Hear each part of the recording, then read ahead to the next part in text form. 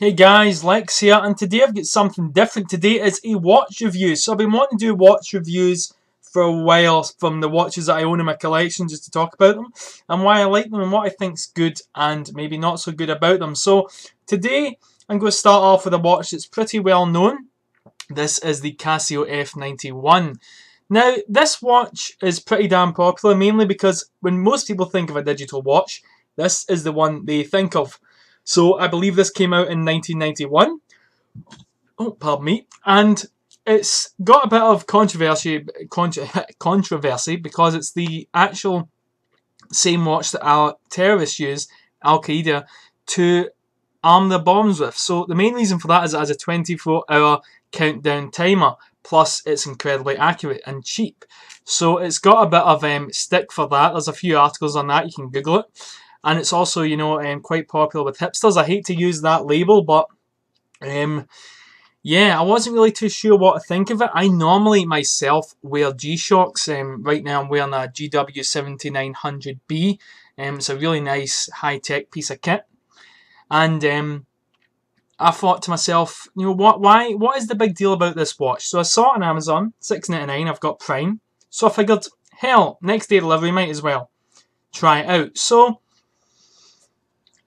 I really wasn't sure what to think. I was like, did I just waste six ninety nine? What is the big deal? I always Google around. I remember in a watch forum, I like to Google and read, and I always see these lists, these top ten iconic watches, top twenty five, top thirty, and you've got your Rolex Explorer, your your day date, um, your Datejust. Um, you've got, you know, Omega, you've got your original Seikos and stuff, Grand Seiko, stuff like that, um, Patek and all that. And every single one of those lists, this watch was there. Every single one, this watch popped up. F91, F91, F91. I kept wondering, what the hell is the big fucking deal about this watch? What has it got that's so damn special? I mean, the original G-Shock came out in 1983, years before this thing. Why the hell is this so special? So when I arrived, I have to admit, I really didn't expect it, but this really grew on me. So I'm going to just quickly put this on just to show you on the wrist.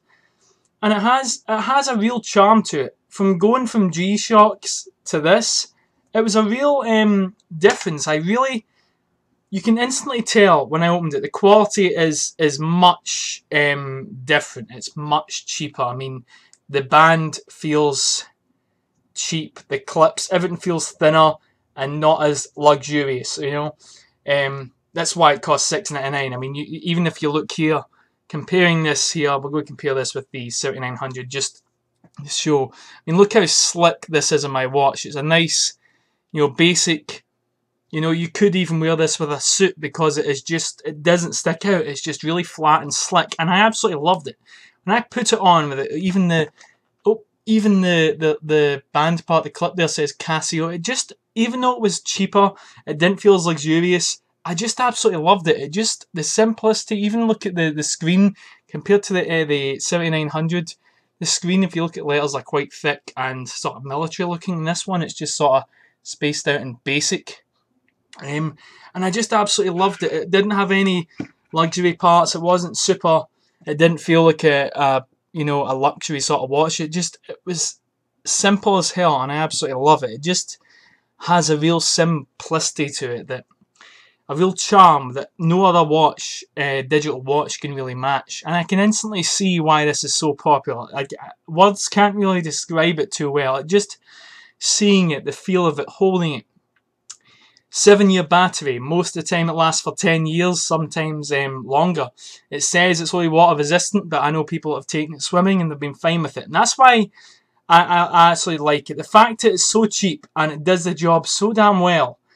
Um, feature wise, this thing, I'm just going to take it off here, it's a bit difficult again. This is where you can see the straps a lot shorter than G-Shocks as well.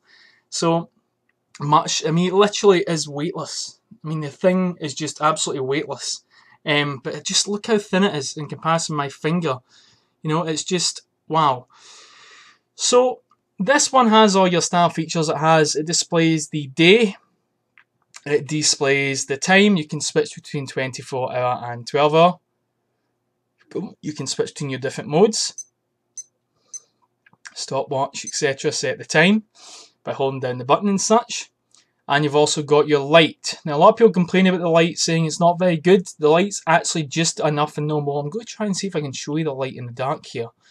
Let me see, this will be difficult, but let's try it. Yeah, see how that, see how, if you look carefully, it lights up the entire screen. So you think, oh, that's terrible, you can only see one half of it. Actually, if you're waking up in pitch dark, which I have done waving this, um, you can actually, oh, I'm trying to do this backwards of the camera. Let's see, oh, try to cover it so you can, yeah, see, see that there? You can actually see the whole screen. It does light up in that side, but you can see every single digit on the screen, you know, and really, really dark um, lighting.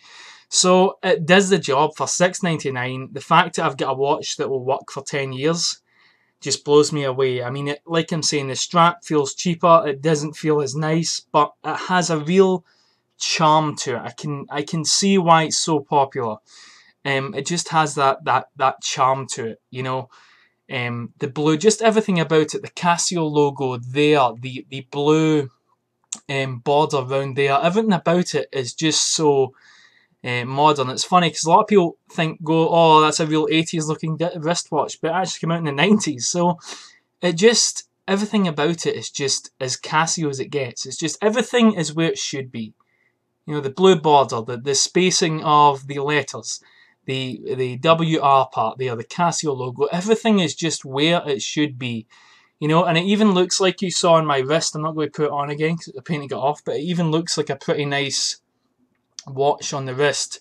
You know, if you wore this, let's say you work in an office and you, you wanted to wear a digital watch and you didn't want to go for one of the um, sort of silver plated metal ones, which do look quite nice, but let's say you wanted to go for this, you know, it wouldn't be too bad because it's it's just so thin and, and subtle.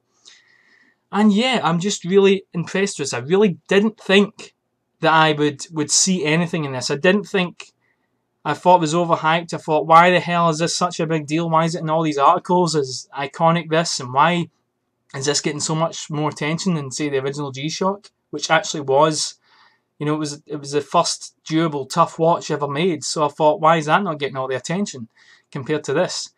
And for the price alone, for six ninety nine, you know, for the price of two pints of beer, I've got this watch that will last about roughly 10 years you know, and I know it's going to last 10 years because the company Casio always put out top quality. They use good quality batteries. The materials, the the the, the sort of components they use are always good quality. Um, much better quality on the G-Shock obviously. I mean, it's much heavier, it's much more robust. You can, I mean, just taking a look, you can see the, the difference in quality, um, you know, between these two watches. But I will be reviewing this one as well. So, I rabbled on a bit for this. It is my first watch review. Um, so yeah, I'm pretty damn impressed with it. I like it. It's it's a nice change. The simplicity. Um, it's a nice change to go from this thing that thinks it's a damn computer that tells you everything under the sun, um, you know, moon rays and stuff like that, to just a simple watch. The sort of watch you need to adjust for daylight savings. You know, it will occasionally lose a few seconds every couple of months or so. It just works. I absolutely love it. So yeah, I hope you enjoyed this review. Um, I wasn't sure what one to start with, but because of the sort of history behind this watch, um, I thought I would start with this one. Because I really, it did really change my mind. I mean, I really, at some one point, before I got one for myself, thought, why the fuck is this such a big deal? Why is everybody raving on about this watch? Why is it so popular? And I got my own one, and I just, I just loved it. It just worked. Simple, it does its job. I absolutely love it. So yeah, thanks for watching. Any questions you have about this watch, feel free to leave them in the comments or send me a YouTube message. Um, what was I about to say there? Oh yeah, if you don't have a Google Plus account, you can contact me on Facebook. And yeah, thank you for watching this review, guys.